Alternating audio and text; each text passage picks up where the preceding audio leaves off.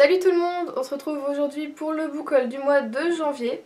Euh, je pensais pas qu'il serait trop gros, mais en fait, euh, ben si je me suis encore fait avoir. Donc on va commencer tout de suite. Donc ce premier livre, euh, je ne l'ai pas acheté, mais c'est une amie qui me l'a offerte. Vous avez vu la chronique si vous suivez mes updates lecture. Donc c'est Red Hill de Jamie McGuire aux éditions J'ai lu, qui est donc un livre sur une invasion zombie, on va dire, avec un virus, tout ça. Donc j'avais adoré ce livre. Donc vous pouvez aller voir ma chronique, je mettrai tout en barre d'infos. Le deuxième livre, c'est le deuxième tome de l'épouvanteur, donc la malédiction de l'épouvanteur de Joseph Delaney aux éditions Bayard Jeunesse. Donc là aussi, j'ai beaucoup aimé euh, ma lecture. Donc euh, comme pour le précédent, je vous mettrai tous les liens en barre d'infos. Le troisième livre, c'est Les gardiens des cités perdues de Shannon Messenger aux éditions Lumen. Donc j'avais aussi beaucoup beaucoup aimé ma lecture. Voilà. Ensuite, nous avons Le secret de l'inventeur, Rébellion de Andrea Kremer aux éditions Lumen. Il est toujours, euh, toujours emballé. Là, je peux pas trop vous dire résumé parce que je veux, j'ai pas envie de lire le résumé sur celui-ci. Je sais que je devais l'acheter, que je veux l'acheter. Je l'ai acheté. Ensuite, une de mes dernières lectures, c'est Levana, euh, donc le tome 3.5 des Chroniques lunaires de Marissa Meyer aux éditions PKJ. Donc là, vous aurez bientôt un update lecture dessus. J'ai aussi beaucoup aimé. Ensuite, on va passer aux poches. Donc en poche, ce mois-ci, j'ai acheté euh, le tome 2 euh, des étoiles de North Head. Donc c'est Rivalité de Sophie Joma aux éditions J'ai lu. Donc on continue à suivre Anna et Lace. Donc j'avais plutôt aimé, mais c'est vrai que je m'étais fait spoiler. Donc vous aurez aussi ma chronique. Ensuite, je me suis lancée dans un nouveau genre de lecture, j'avais envie, donc, c'est de la romance contemporaine et donc je me suis acheté un Nora Roberts.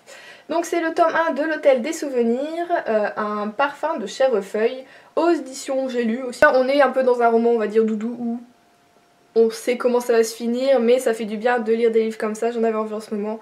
Donc je me lance dans la euh, romance contemporaine. Et ensuite on va passer au manga. Donc je vous dis oui ça fait quand même beaucoup. Hein. En premier manga nous avons The Unsaint Magnus Bane de Kole Yamazaki aux éditions Komiku.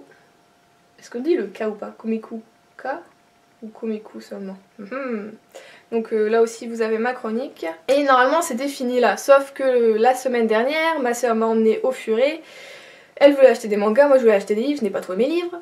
J'ai donc acheté des mangas, ce n'était pas prévu. Donc nous avons le titre bien... Le garçon d'à côté, ouais, moi ça me fait penser aux vieilles séries euh, qu'on avait françaises.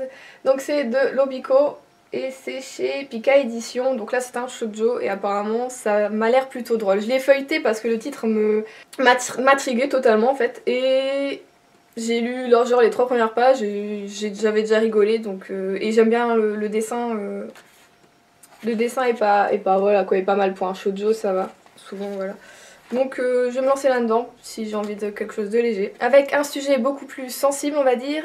On a A Silent Voice de Yoshitoki Oima. Donc c'est chez Klun Shonen. Donc là on est avec euh, Shoko qui est euh, sourde depuis sa naissance.